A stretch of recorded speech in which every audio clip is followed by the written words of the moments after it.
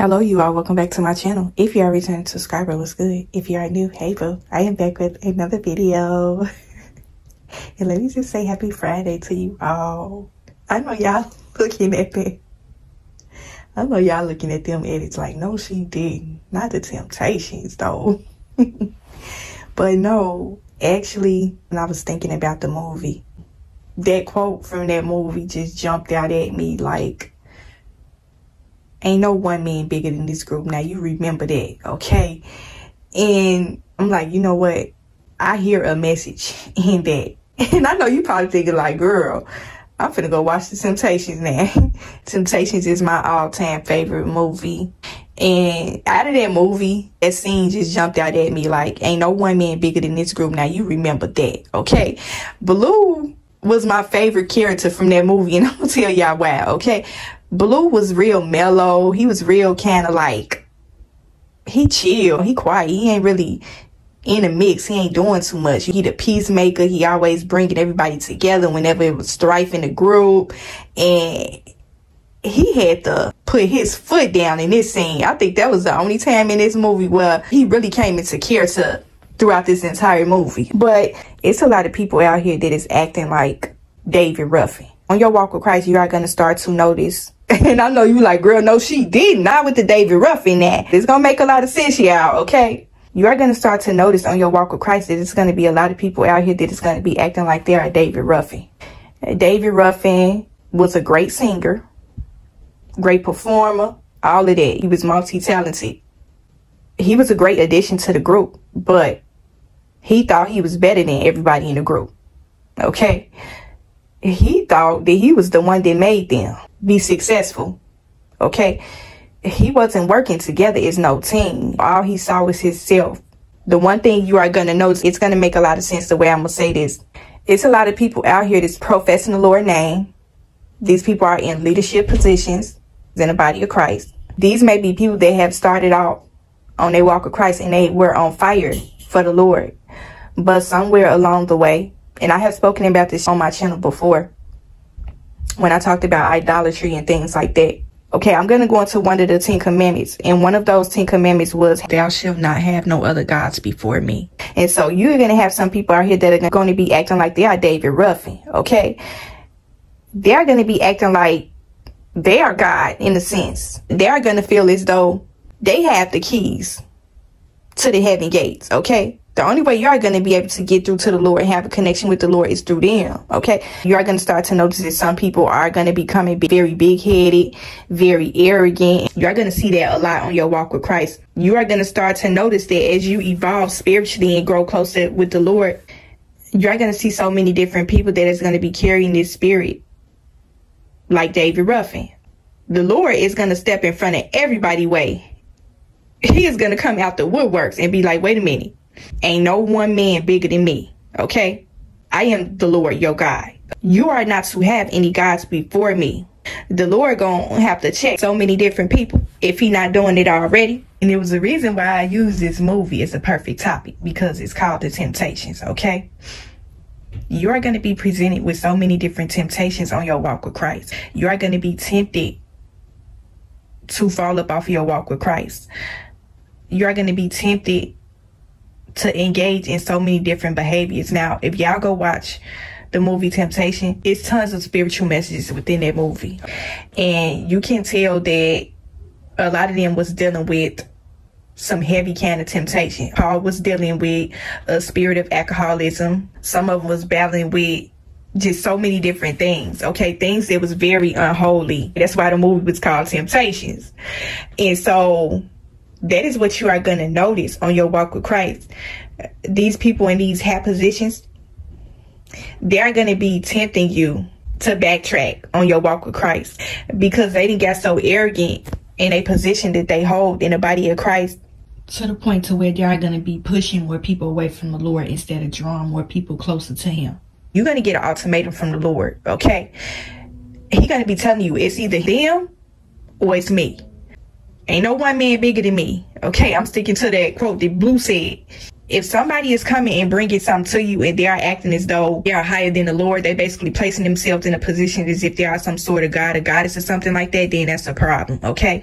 You should always be giving praises and glory to the most high, everything. We all know that we make mistakes sometimes. That's going to happen. That's normal.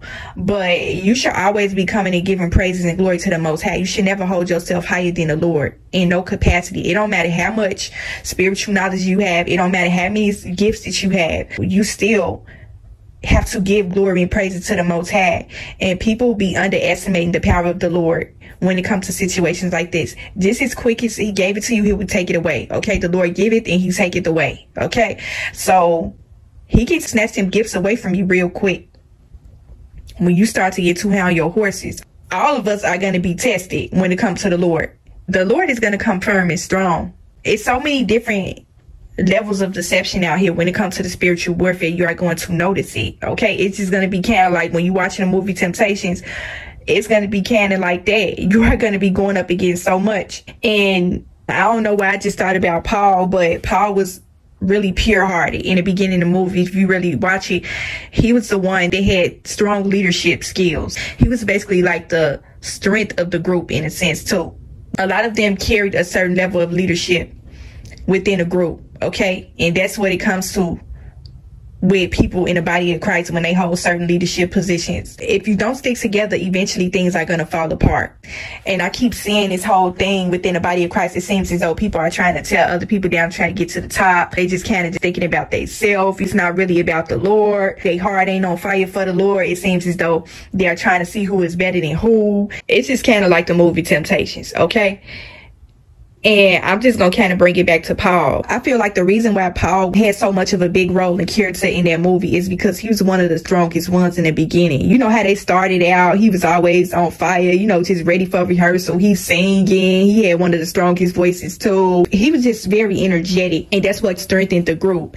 And I just seen where slowly but surely he started getting tempted by the devil. Okay. David Ruffin basically depicted Satan in this movie. He was a perfect example of deception for this group. Okay, they didn't see it in the beginning. The first performance he had with them, the deception was there. He was already who he was in the beginning. When deception is presented to you, it's going to be coming in a form as if this person ain't going to have no care. They are going to basically show you who they are in the beginning, and it's up to you to choose whether you going to rock and roll with them or not. He basically played on their desperation for a new lead singer because remember they had lost Al Okay, he had a drinking problem and they let him go because he was too much of a hothead. And then David seen that as an opportunity. He seen that as a weakness and a vulnerability. And so he played on them. He gave them this sob story about his past. Okay. That's how he was able to reel them in through emotions. He told them in the beginning, he was like, I don't do too well with rules. So basically he told you right there that he was going to be a problem later on down the road.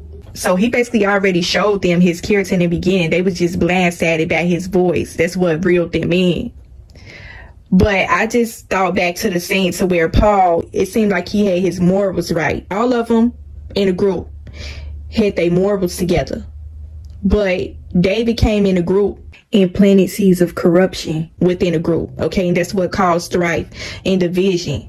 And so them scenes with Paul was always said to me because that scene from when they was on the bus and he was drinking milk and then David tried to offer him some liquor and he turned it down the first time. And I just knew that was right then and there that was going to be some trouble. David basically brought corruption within a group. I always wonder why David offered him to drink out of everybody. Okay, that was always a scene that just kind of stood out to me. I was just sitting up there thinking like, that's how it is. The devil will always try to test your strength. Paul was one of the strongest ones in the group and David knew that. So he knew the only way he was going to be able to break him spiritually is by weakening him with alcohol. If you really pay close attention to the movie, he corrupted Eddie into doing drugs. David was partaking in so much corruptive behavior throughout the movie. Okay. Sex, drugs, all of that type of stuff. He brought all that corruption within the group. Remember in the beginning of the movie, they was going to church. They was living a very purified kind of lifestyle until he came within a group. David was like that apple up on the tree. Okay. He was the one that was tempting Eve and Adam to eat from that tree. That's basically how David presented himself to the group. And so throughout the movie, you started to see where Paul slowly started to deteriorate. He started to lose his mojo.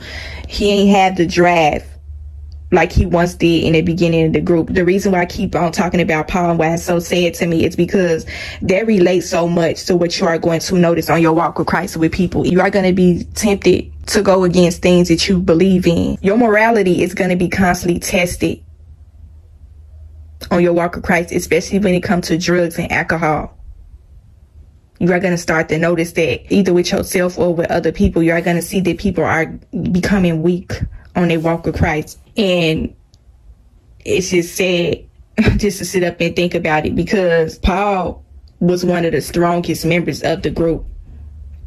And he let Satan tempt him into a life of corruption with drugs and alcohol.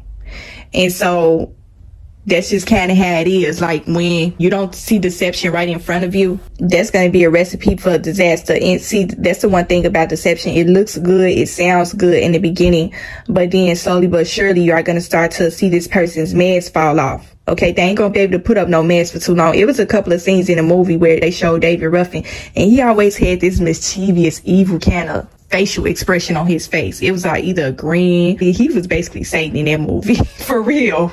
And I just literally thought about that scene when they were supposed to meet up at the park and he came with his girlfriend and Otis was the narrator of the movie basically.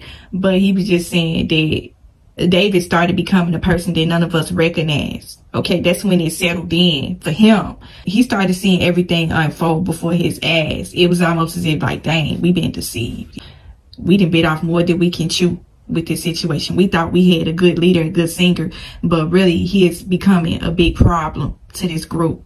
It was a couple of scenes within the movie that I'm kind of honed in on that I took a spiritual lesson from. The one scene where Eddie had showed up to David apartment and he was just basically telling him like why you ain't answering the phone that scene was so sad to me because it's just so crazy how drugs will just ruin your life. It can ruin a gift. They had the gift and the talents of singing and performing. And they basically let Satan take them all down one by one, in a sense. Otis and Blue was the only two that was really strong throughout this movie. And Blue was struggling with a few things in the movie too, but I'm gonna probably get on to that later on in the video. But that scene when Eddie had came to David house, that scene kind of bothered me because I always thought Eddie had a beautiful voice. He was one of the strongest leaders of the group as well. And just to see how they just let temptation let them fall like that was just man boggling to me. He literally took them drugs and snorted it up his nose. And I was just like, oh my God. Out of everybody in the group, I thought that Eddie was going to be the one that was going to be able to beat the temptation, but he fell pray to it as well. Because y'all remember the scene where for the people who ain't seen the movie i'm sorry it was too many spoiler alerts up in this movie but the temptations is an old movie like i'm pretty sure everybody in their mom has seen that movie. But y'all remember the scene to where they was going to get rid of david. They basically wrote him a letter and told him look you've been a problem to this group and we didn't already came up on the decision that we are going to let go. That scene was crazy to me because eddie didn't really want him to leave. It was crazy. Eddie had some sort of attachment to David. I never really quite understood. Well, I knew the reason why Eddie didn't want him to leave because he had a good voice. He, he was a great performer. Let's just be honest. David was a great performer. He was a great addition to the group, but Eddie didn't see what everybody else saw he just think, okay, he's the person that's a part of the group. We making his money. We doing this together. So even though he may be a bit of a problem, we still got to make this money. That's how Eddie seen it. But it was one particular scene. I seen this movie when I was a child. Even seeing that scene when Paul turned his head away from the group, that was a chilling scene to me because that was just basically the beginning of his downfall in a sense. It's just kind of like, dang of one fallen man because they was all looking towards him. You know, they was letting him go. They basically standing as a group. It, it was so much of a symbolic spiritual meaning behind that scene when they was letting David go. They was all on board with letting him go, but Paul wasn't. That's why he looked away from the group. Okay. And so it was just so many different spiritual lessons um, from that movie. That scene where Eddie was doing them drugs, that scene bothered me too. It was actually a couple of scenes from in a movie with David that bothered me. It was the scene where he had met up with that drug dealer at the house and he told the drug dealer that he was gonna sell his car. And he was so high and doped up off of drugs he didn't even realize that he had missed the important show that they were supposed to do together.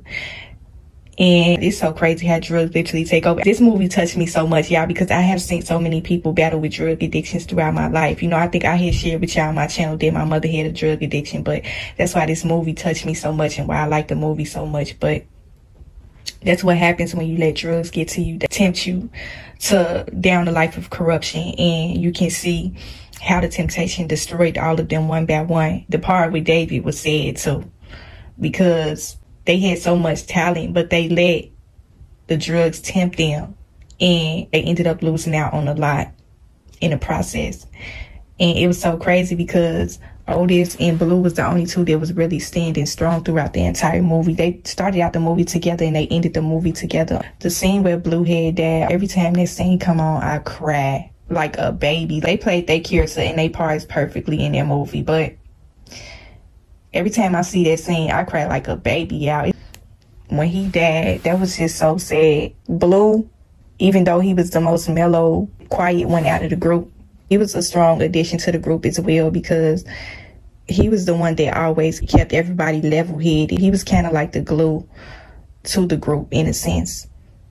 When it came to trying to keep everybody together. He just always seemed to be the one that was always trying to have unity within a group. And that's a strong leadership quality. Peace and tranquility. That's what he was all about. Y'all remember in the beginning of the movie where Paul and Eddie really didn't want to team up with Otis and Al in Blue. And he basically brought them together in a sense. They didn't really want to work together, but he ended up bringing them together, keeping everybody in line. Otis played that part too. I feel like that's why they were best friends in a movie because they had a lot of the same qualities. And just that scene with Blue, that was so sad because it was a few scenes throughout the movie to where they didn't really take Blue too seriously because he was always the one they never did seem to have a voice. You know, he never really kind of spoke up himself. They looked at him like he was Otis yes man. They really didn't show any sort of respect for Blue throughout that movie, but he definitely held his leadership role in that movie. They all were leaders. When he died, that stuff broke my heart, y'all, for real. Sometimes when that scene come on, I can't even watch it. And that scene was so sad. I kind of wanted to sum this video up by talking about Otis. I can't talk about Paul death. That was too sad for me. When I started this video, I wasn't even planning on doing a breakdown of this entire movie, but it seemed like that's the route it took. I guess I should just throw it in here since I basically talked about everything else. But Paul's death was just a prime example of what happens when you let alcohol take control over your life. Okay. I got so much of a personal connection to that scene because I have seen so many people in my life battle with alcoholism. And that's why his role in that movie just kind of touched me so much why he stood out so much but that's just basically what happens when you let alcohol take over your life you lose control over everything you end up losing it he ended up taking his life and that was just a scene that will always haunt me for the rest of my life. Like he was literally in a dark parking lot by himself with nobody. That scene was very chilling to me. And he just left behind his kids and his wife. And alcohol literally destroyed his life. That's what happens when you let Satan take over. You end up losing it. Okay, man lost his man to the point to where he just couldn't even take it no more. He ended up taking his cell phone out.